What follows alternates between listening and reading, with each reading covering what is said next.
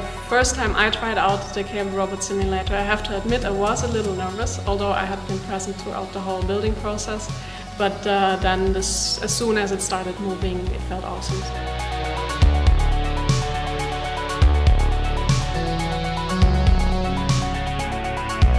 Our vestibular organ in the inner ear, our eyes, and the pressure, pressure sensors we have um, along our skin. We are trying to find out how do they combine to give us a perception of motion while we are moving through the world.